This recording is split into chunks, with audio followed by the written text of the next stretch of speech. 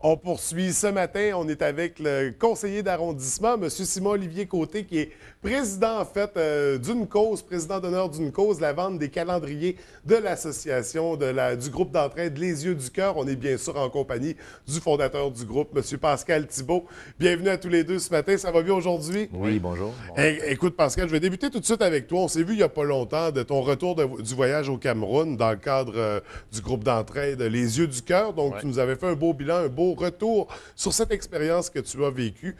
Euh, pendant ce temps-là, tu as, pris plusieurs photos, on en a montré quelques-unes. Là, tu nous arrives avec un calendrier ce matin pour l'année 2016, duquel on retrouve des photos justement que tu as eu la chance de prendre euh, dans ton voyage? Oui, justement, c'est des photos que j'ai prises lors de mon dernier périple au Cameroun.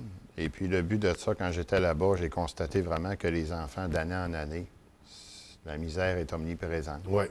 Alors moi, j'ai eu l'idée en revenant, j'ai dit, écoute, cette année, ça serait, faudrait que je fasse à ces enfants-là un beau Noël pour eux mhm. autres. Alors, j'ai décidé, avec l'aide de bénévoles, le graphiste qui a fait le calendrier à titre bénévole, euh, de faire la vente de calendrier qui va débuter le 5, 6, 7, 8 novembre. Donc, qui débute vraiment cette semaine. On pourra se les procurer dès maintenant.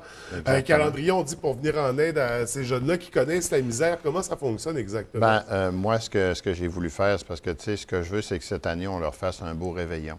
Mhm. qu'on leur offre un peu ce qu'on ne peut pas leur offrir pendant, pendant l'année courante, avec un petit cadeau de Noël. Puis il ne faut pas oublier aussi qu'il y a les soins médicaux, les soins vestimentaires, et il y a encore beaucoup d'enfants qui ne peuvent pas aller à l'école parce que justement, on n'a pas de moyens. Sur 350 orphelins, il y en a peut-être une centaine qui vont à l'école. Le reste, pas parce qu'on ne veut pas, c'est parce qu'on n'a pas les moyens.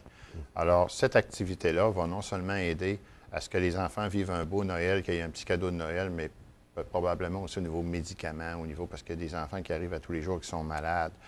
Euh, les religieuses font leur possible, mais il y a toujours des manques.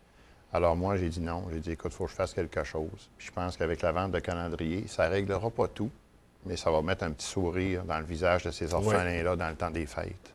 C'est ça, c'était ça le but. Donc, on va revenir sur le calendrier, mais on va se déplacer un peu de votre côté, Monsieur Côté.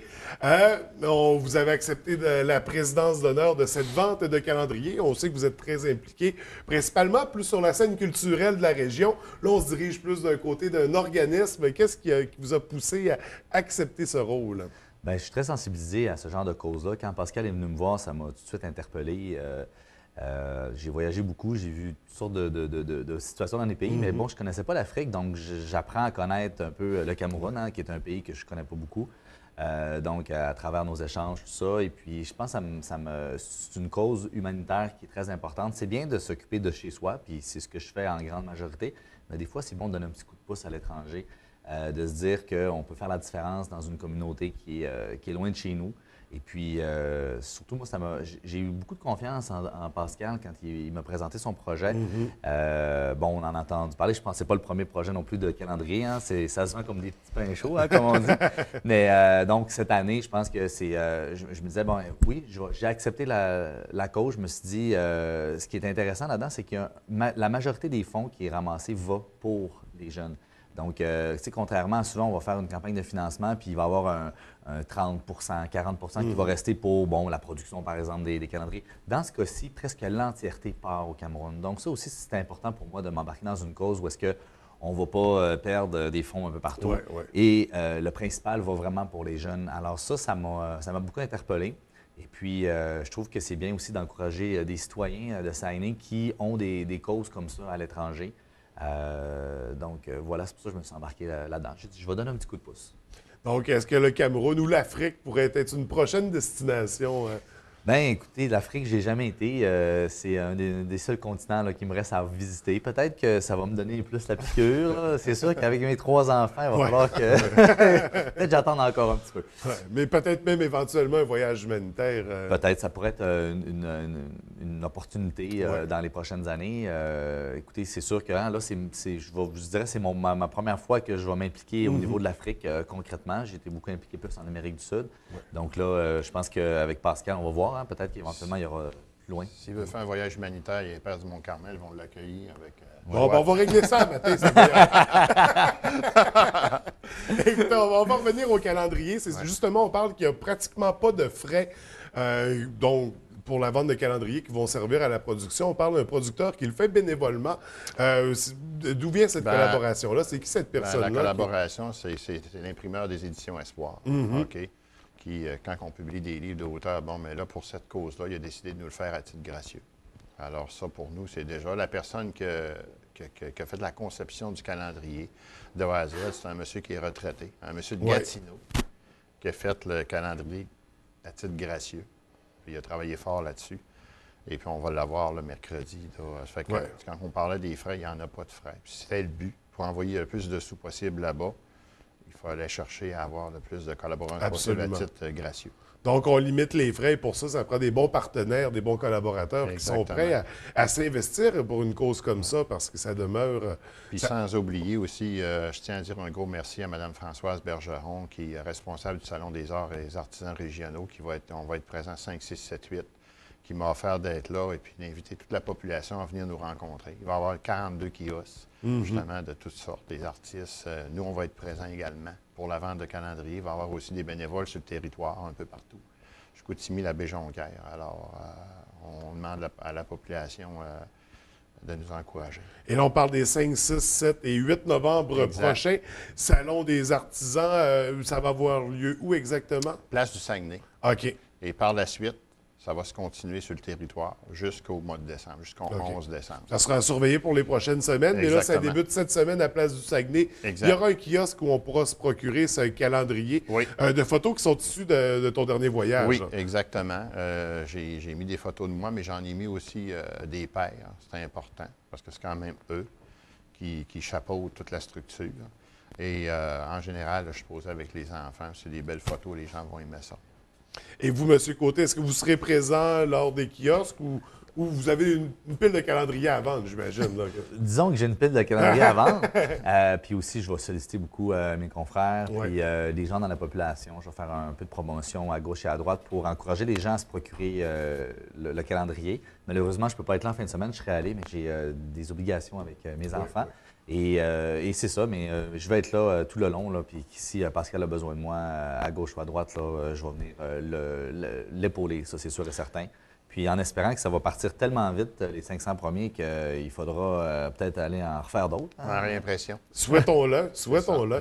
Mm. c'est une belle cause, puis justement, qui va permettre de vivre une belle période des fêtes à ces jeunes qui ne vivent pas ça nécessairement. Là, Bien, c'est ça. Comme je disais tantôt, c'est le but. Moi, d'année en année, j'y vais, puis je constate des choses. Et puis cette année, j'ai dit, il faudrait que je fasse un petit quelque chose pour au moins qu'ils passent un beau temps des fêtes. Même les pères m'ont rencontré, m'en ont parlé.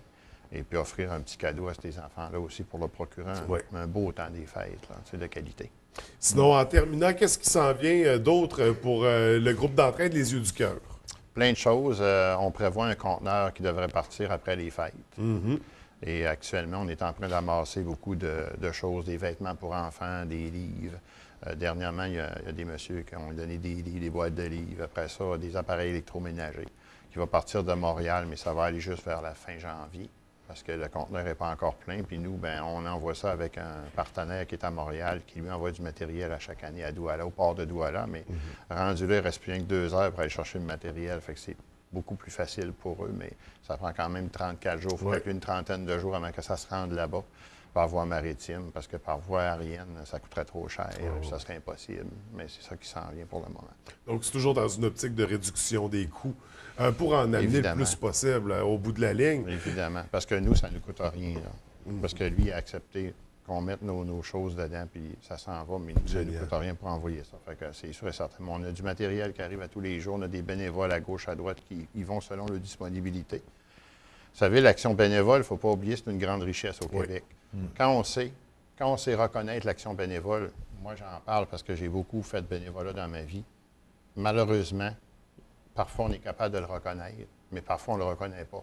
Puis je peux vous dire que ce soit au Saguenay, partout au Québec, si l'action bénévole n'existerait pas, malheureusement, il y aurait beaucoup d'organismes qui n'existeraient plus. Absolument. C'est ça la réalité au Québec. Oui, oui, absolument. Et pour vous, M. Côté, est-ce qu'il y a d'autres implications comme ça à surveiller bientôt? Ben écoutez, euh, c'est plus euh, tranquille en fin d'année comme ça. Hein. Euh, souvent, on, va, on, s'est impliqué beaucoup, beaucoup de sollicitations en mars, avril, mai, tout ça. Là, j'ai accepté celle-là. Je trouvais que la cause était très importante. Donc, on va laisser l'année plus tranquille un peu. Puis après ça, l'année 2016 sera sûrement remplie de belles implications. J'ai déjà des sollicitations un peu, mais j'attends un peu. Là. Donc, ça sera à surveiller. toujours membre du Conseil des arts, toujours membre administrateur même? Oui, toujours. Le CADUS aussi. Puis on travaille beaucoup là, sur tout ce qui est tout, le, plan de développement durable. On travaille beaucoup sur les, questions d'être simple aussi. Hein, mm-hmm le transport actif, tout ça, ça, je pense, c'est euh, aussi des choses importantes euh, à regarder aussi euh, au niveau local. Plus on va être en santé, plus on va être comme bon. on voit Pierre Lavoie, des, des mm-hmm. trucs comme ça. C'est des causes aussi qui sont intéressantes. je pense que c'est bien de, regarder ça, puis c'est bien aussi des fois de regarder vers, vers l'extérieur puis de dire bon, qui qu'on peut aider cette année? Oui, absolument.